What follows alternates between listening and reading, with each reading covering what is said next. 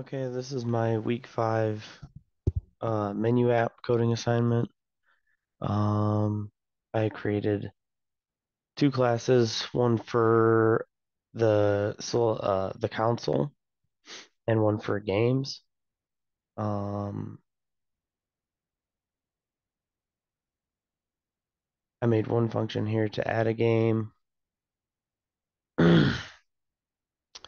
Uh, this describes the game and the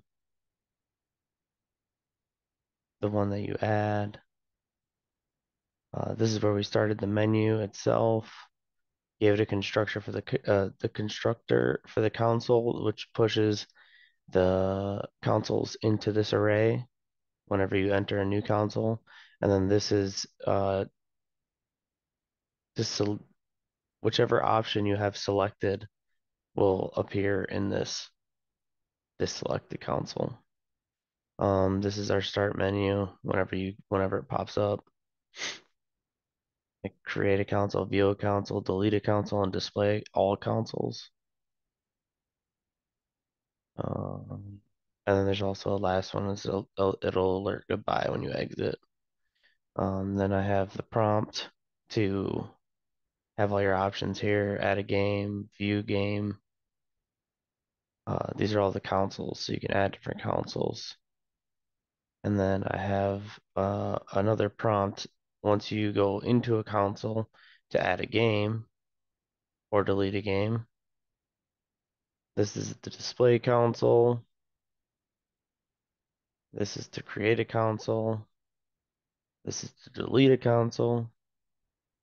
You splice the index of one because it's only deleting one, whatever one that's selected.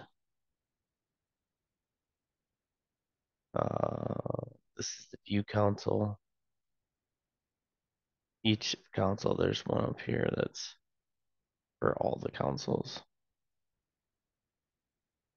Um, here's the to create a game, and you can, for whatever selected console you have, you're pushing a new game and a uh, genre of the game.